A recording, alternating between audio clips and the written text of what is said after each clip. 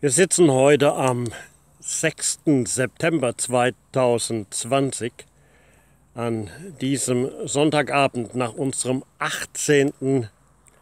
Wildnistag an der wunderbaren naturbelassenen Loire, die wir mittlerweile 350 Kilometer quer durch Frankreich gepaddelt sind, an unserem obligatorischen Lagerfeuer und genießen diesen Abend nochmal in vollen Zügen.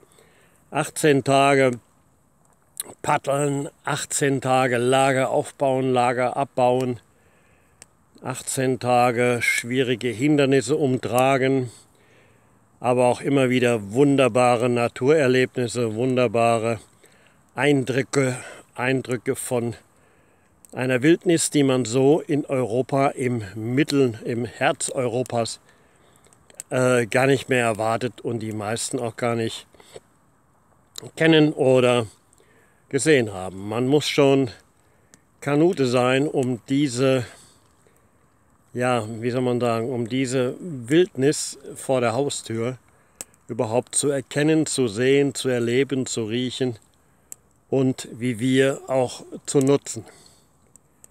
Natürlich ist in Frankreich das Campieren, das Bivakieren draußen in der freien Natur, so wie in den meisten europäischen Ländern, nicht erlaubt. Aber wir haben jetzt wieder auf der Loire gesehen, Naturschutzgebiete sind gekennzeichnet, dort ist einwandfrei der Hinweis Zelten verboten. Wenn die Naturschutzgebiete zu Ende sind, steht da wieder ein Schild, was darauf hinweist, hier sind die Verbote wieder äh, überflüssig. Und ja, Vogelschutzinseln sind gekennzeichnet dort, wo man in der Brutzeit möglichst die Sandbänke, Kiesbänke nicht betreten sollte. Aber ansonsten haben wir festgestellt, dass unser Tun hier wieder mal von allen Menschen, die uns dabei gesehen oder beobachtet haben, meistens waren das, war das niemand, aber es wird toleriert, es wird akzeptiert und wir haben es genossen. Und noch etwas ist uns auf dieser Tour wieder krass aufgefallen. Wir haben im Fluss, am Fluss und auf den Flussinseln so gut wie keinen Abfall gefunden. Keinen Müll, keine Bierflaschen, keine Bierdosen, keine Weinflaschen. Nichts. Unglaublich, dass man das hier in Frankreich heute so antrifft. In Deutschland äh, sieht das mittlerweile sehr viel anders aus, wo Müll wieder in der Natur entsorgt wird.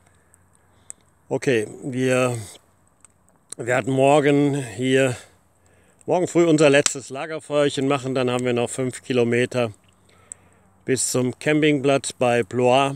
Dort werden wir morgen uns Fahrräder ausleihen, in die Stadt Blois fahren, uns Fahrkarten besorgen für Mensch und Hund äh, Rückfahrt zu unserem Autogespann, werden dann Dienstagabend oder ja, Dienstagabend noch zurückkehren nach Blois, Mittwoch unseren Krempel einpacken und uns auf den Weg machen an die Ardèche. Und äh, unser Vagabundieren im Spätsommer, im Frühherbst 2020 ist noch nicht zu Ende und wir werden weiterhin Gegenden und Regionen aufsuchen, die menschenarm sind und wo aktuell auch keine Touristen einen Coronavirus mit sich schleppen, den sie uns anhängen könnten. Also, weiter geht's und hau rein, Alter.